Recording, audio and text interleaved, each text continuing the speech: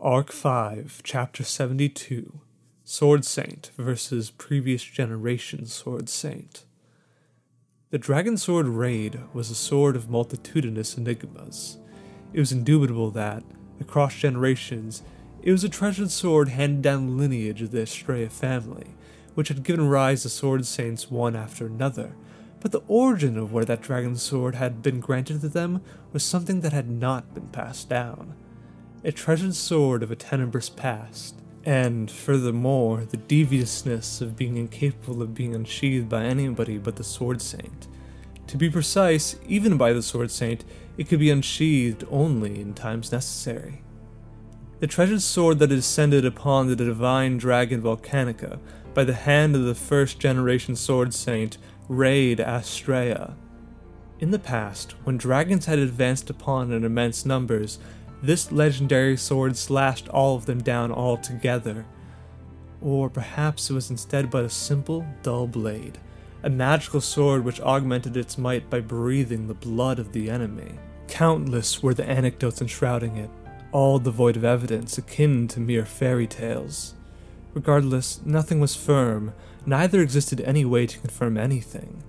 If there's one thing that could be asserted, the Dragon Sword Reid was the supreme sword that transcended treasured swords, legendary swords, or magical swords of any disposition. It was the extremity of the realization of steel titled the sword. There existed no steel surpassing it. Even for Wilhelm, who'd been bestowed with the honor of a swordsman, the name of Vaan, this was only the third instance across the entirety of his lifetime that he was laying his eyes upon the uncontaminated white blade. Reinhard. With the jet black scabbard bearing engravings carved by the claws of the dragon in his left hand, and the dragon sword gripped in his right hand, was he.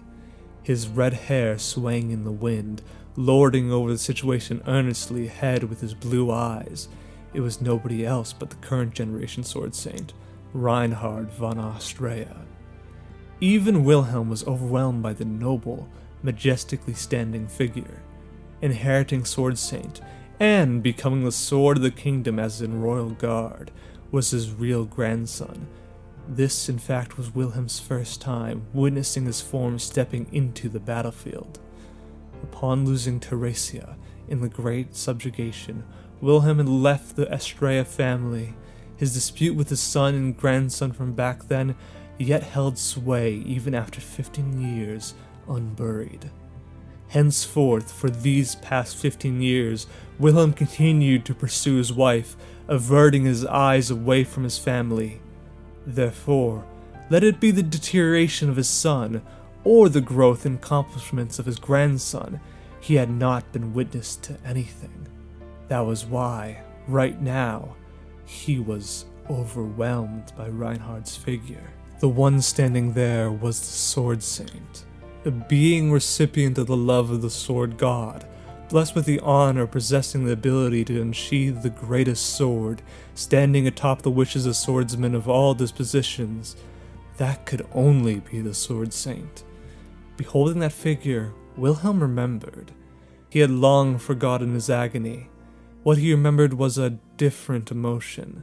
The deep emotion Wilhelm had felt when far, far back in the past, he had been spectator to the sword's dance of the sword saint, Theresia. Back then, Wilhelm felt the distance he would never be able to cover, a territory he would by no means be able to reach, and Wilhelm lamented the trifling nature of his sword talents. Yet, without decline, he swung the sword, continued swinging it, and at last managed to grasp the edge of that territory. No distance was too distant. That was what he was supposed to have proven. Such a tapered, puny outlook. The qualities were different, the statures were different, the weights were different. The things were different, anything and everything was different. That was not an existence capable of being debated over whether it was within or beyond reach. It was an existence verbatim residing in an entirely different dimension itself. Theresia gradually lowered the hoisted longsword. The sword had been on the verge of slaying Heinkel, but stopped in face of the newly appeared enemy. the heartless, mobile cadaver of Theresia van Astrea, had already lost the pride of a swordsman, the style of a warrior, anything and everything. What she had right now were only the orders of the caster who was moving her dead body via some secret arts, the optimum judgment for executing them and defeating those posing as obstacles, that was all. And if those orders prioritized those who could prove to be a threat, her judgment was simply natural. Robbed his ability to resume the battle, awaiting only his demise through blood loss, was the aged swordsman. Having lost all fighting spirit, unable to even flee, was the deputy commander of the knights, only in name. Both of them no longer registered as threats or anything such wise to Theresia. Therefore, turning her long sword, tilting her skills as the former sword saint towards the present sword saint, was a judgment devoid of doubt. Wait, Theresia, look here, at me, Theresia! Dragging his leg, pulling the thread of blood, wailed Wilhelm. As though not hearing that cry, Theresia paid him no heed. As if the exchange of sword slashes until now had all been a lie, she treated him as something not even present. It was humiliating. However, it was even more so saddening. However, he had no time to drown in grief. He would never forgive such stagnation of his current self. He must shout now. He must stop her now. Ignoring Wilhelm's racing heart, Theresia leapt at once and shortened the distance.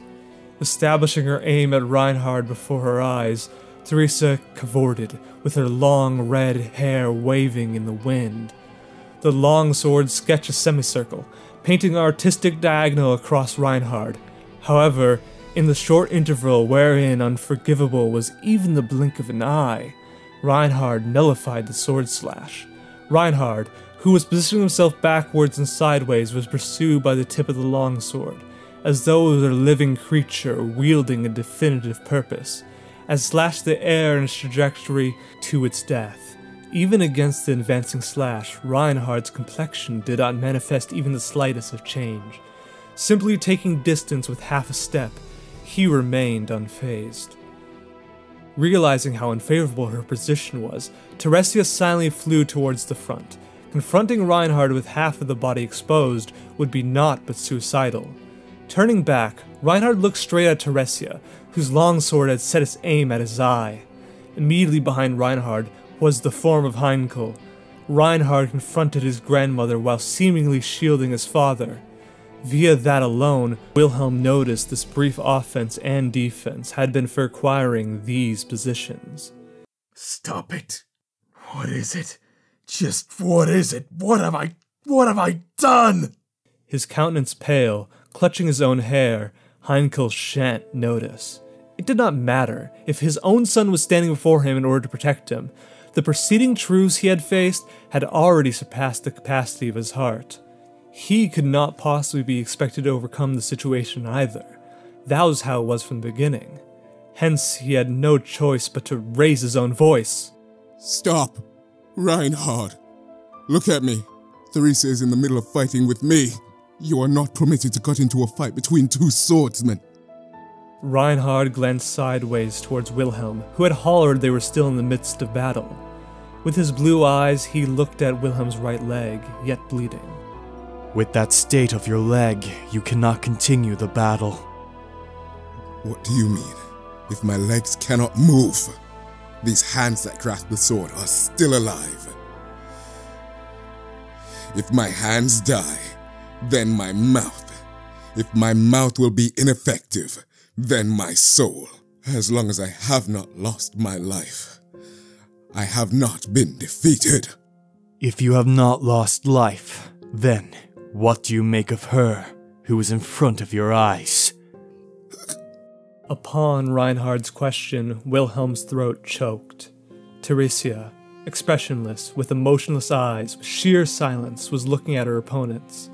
Keeping her stance at the corner of his eyes, Reinhard sought an answer from Wilhelm. A dead body devoid of self consciousness, merely moving in accordance with the wishes of the caster. I do not believe there is any meaning in involving the styles of a swordsman with a deed of someone seemingly toying with the dead. Styles of a swordsman, you say? Seeking to duel with a mobile cadaver was foolishness. Wilhelm was unable to refute Reinhard's reasoning. It was the truth that Theresia had already distanced away from Wilhelm, and the battle had come to an end. No matter how much the loser, Wilhelm may yowl, the swordsman will shall not be granted. Furthermore, neither could Wilhelm himself loudly assert being a swordsman at present. Standing with support of the sword, the circumstance at hand entrusted to words instead of steel, wishes instead of sword might. Where did the pride and dignity of the sword demon remain in this Wilhelm von Astrea? Nothing in such wise existed anywhere. He was empty. The deceased do not move. The deceased have no future. I will not forgive that absurdity. Enunciated Reinhard before Wilhelm, who had lost his voice. His eyes had averted from his grandfather, and now closely observed solely the cadaver of his grandmother, standing before his eyes.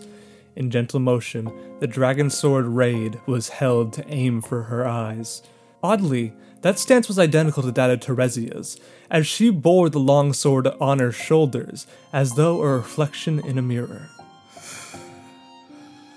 The unclouded blade of the dragon sword, visible, inordinately shimmering with glamour. That was the ovation of the sword. At having attained a chance to be swung, it felt deeply moved. Felicity, at having to oppose one who was its former bearer. The supreme blade was adorned with voiceless delight. Soundlessly, the blue eyes of the two swordsmen intertwined. The sword saint, wielding his sword, did not offer his name as he was originally supposed to. It was natural, since that sought an opponent with a value that they would pay back the pride of a swordsman and the style of a warrior. Against an opponent antithetical to that, against an opponent who did not possess the value to be equal, he shan't do so. The atmosphere froze, tension dawned with hue and weight crushed the world. Feeling his entire body get heavier, dominated by a sense of compactness, Wilhelm opened his mouth. Ignorant of the word he should pronounce, compelled by the sense of exasperation stemming from the feeling that he must interject, ironically enough, that acted like a signal for the two swordsmen. Stop! His voice did not reach. Bequeathing even voice behind, the two swordsmen clashed. Stepping ahead, swinging, Theresia's longsword roared and rent the atmosphere as her greatest sword slash at the perfect angle assailed upon Reinhard. In fact, this may have been the slash with utmost refinement and beauty coming from Theresia amongst all which Wilhelm had seen till now. Under normal circumstances, Wilhelm may have been envious of the fact that his self had not been the one to hail out the entirety of the sword abilities sleeping within Theresia. However, at this instant, the motions distending within Wilhelm's heart were disparate, and the volatile something weighing his chest overflowed out by taking the form of certain words. Don't kill her! The emotions he had restrained, the passion he had suppressed, the things must not have wished for, and the love he had admonished, rushed forth as though breaking Wilhelm's barriers. Theresia, of the days of youth. The woman who had caressed Wilhelm's heart, who had made him take notice of the world beyond the sword, the only one in his lifetime, one he would not give up on, in, even in exchange for the world, was right there.